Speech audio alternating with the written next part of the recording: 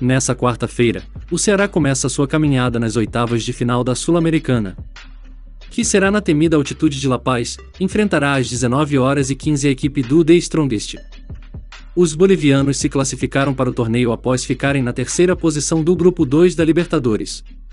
Jogando em favor da altitude de mais de 3.600 metros da capital boliviana, o técnico argentino Christian Dias costuma ser bastante ofensivo quando joga dentro de casa, e gosta de atuar pelas laterais do campo.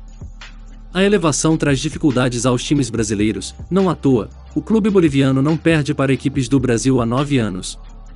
Administrar o impacto da altitude é a principal dificuldade dos clubes visitantes, na história, o The Strongest enfrentou equipes do Brasil em 34 oportunidades entre confrontos de ida e volta, com apenas 4 vitórias dos estrangeiros em solo boliviano.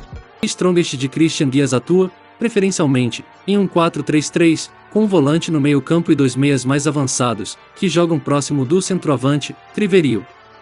Nas pontas, Vaca e Esparza atuam bem abertos e costumam trocar de posição com os dois laterais.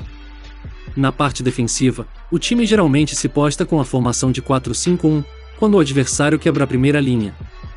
Deixe nos comentários qual o maior desafio para o Vozão nessa partida. Se inscreva no canal para não perder nenhuma notícia do Vozão. Saudações alvinegras.